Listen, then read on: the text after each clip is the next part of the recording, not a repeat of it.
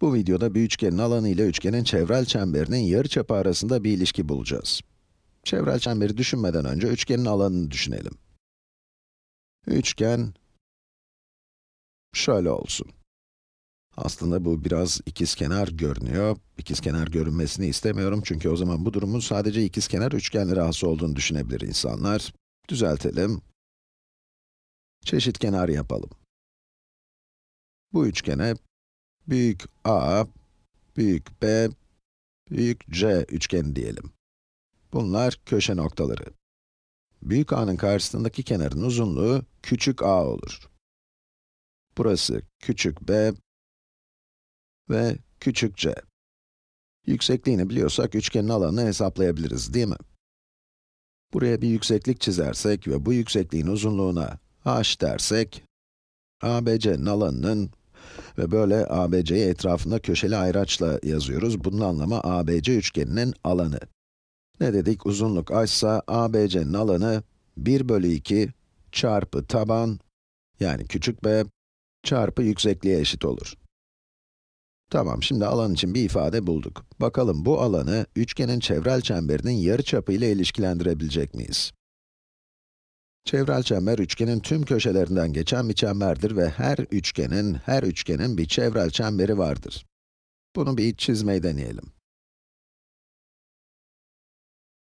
İşte, böyle bir şey. Evet, çembere oldukça yakın. Sanırım genel fikri anladınız. Bu üçgenin çevrel çemberi bu. Şimdi bu çevrel çemberin merkezini düşünelim. Hatta buna bazen çevrel merkez de denir. Evet, sanki bu, sanki tam bu b'nin üstüne gelecek gibi. Evet, çevrel çemberin merkezi bu. Bu çevrel çembere bir de çap çizelim.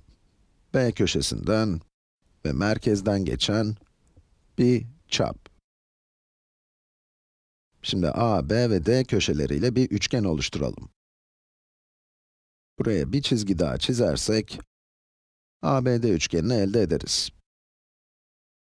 Daha önce bir çemberin içine çizilen ve kenarlarından birinin çap olduğu bir üçgenin dik açılı bir üçgen olduğunu ispatlamıştık.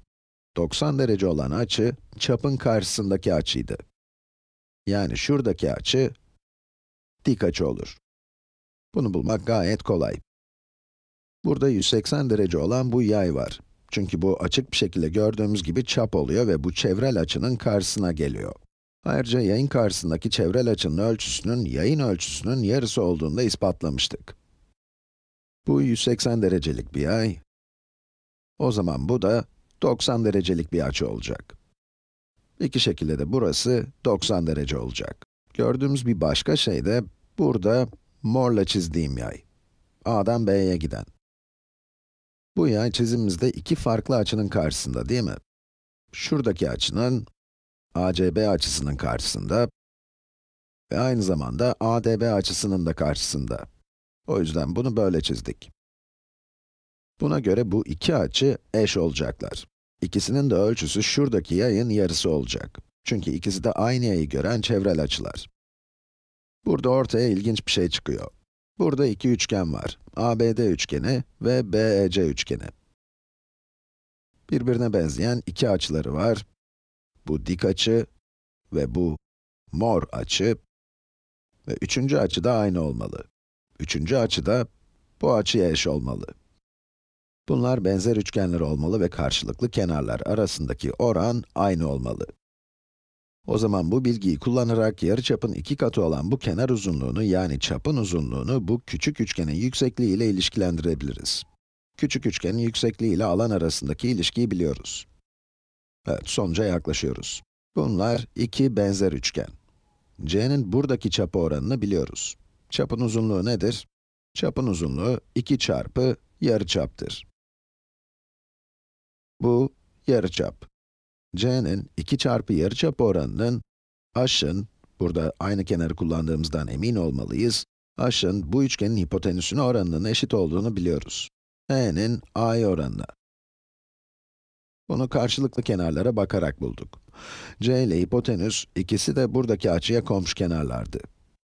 Böylece h ve a'yı elde ediyorsunuz. Yani c'nin 2r'ye oranı, h'ın a'ya oranına eşit. Burada birçok şey yapabiliriz. H'ı yalnız bırakabiliriz ve alanlı ifadeyi h yerine koyabiliriz. Evet, aynen böyle yapalım. Alan için bu birinci ifadeyi kullanırsak, iki tarafı da 2 ile çarpabiliriz ve b'ye bölebiliriz. Bunlar birbirini götürür. h eşittir 2 çarpı alan bölü b elde ederiz. c bölü 2r eşittir h ve h eşittir 2 çarpı üçgenin alanı bölü b olduğundan bu bağıntıyı yeniden yazabiliriz. Bunların hepsi bölü a olacak. Veya şuradaki ikinci kısmı yeniden yazabiliriz. 2 çarpı alan bölü b'ye bölüyoruz, sonra a'ya bölüyoruz. Bu da a, b'ye bölmekle aynı şey.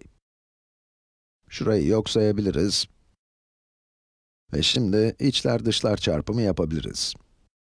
ab çarpı c eşittir 2r çarpı 2 çarpı ABC'nin alanı. Buna göre burası 4r çarpı üçgenimizin alanı olacak. İçler dışlar çarpımı, bu çarpı bu, yani AB çarpı C eşittir 2R çarpı 2 çarpı ABC'nin alanı. İçler dışlar çarpımı almanın denklemin iki tarafını 2R ve AB ile çarpmak olduğunu biliyoruz. Bunu sol tarafta yaptık ve bir de sağ tarafta yaptık. 2R ve AB. Bu, şunu götürür, şu da bunu götürdü.